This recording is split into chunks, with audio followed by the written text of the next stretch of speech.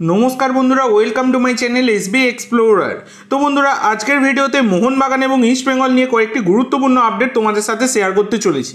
তো first of all যে আপডেটটা তোমাদের দেবো, সেটা হচ্ছে জাবিয়ার সিবেরিওকে নিয়ে।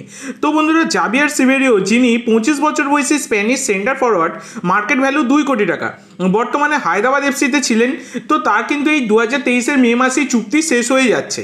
তো এই জাবিয়ার সিবেরিওকে কিন্তু টার্গেট করেছে ইস্ট বেঙ্গল ম্যানেজমেন্ট এরকম যা সম্ভাবনা মানে কথাবার্তা কিন্তু অনেক দূর এগিয়েছে এবং ব্যাপার হচ্ছে যদি সব কিছু ঠিকঠাক থাকে তাহলে কিন্তু তোমরা জাভিয়ার সিবেরিওকে নেক্সট সিজনে কিন্তু ইস্ট বেঙ্গলের জার্সি গায়ে দেখতেই পারো।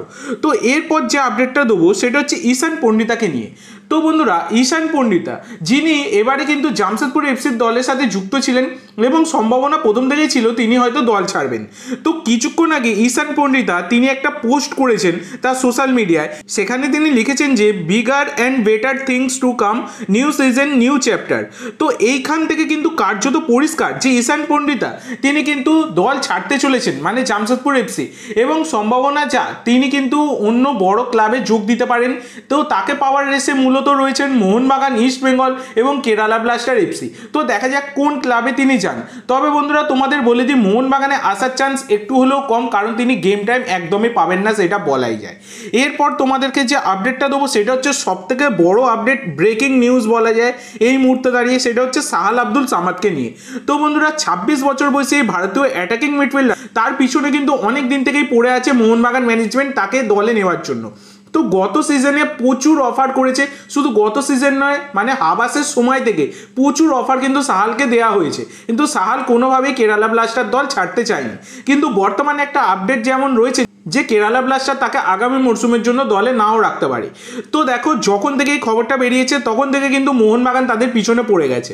এবং সবথেকে বড় কথা হচ্ছে, বর্তমানে ময়দানের গপ্পর আপডেট অনুযায়ী এই সাহাল আব্দুল সামাদ তাকে কিন্তু পনেরো কোটি ষাট লাখ টাকার একটা অফার দেওয়া হয়েছে চার বছরের চুক্তির জন্য।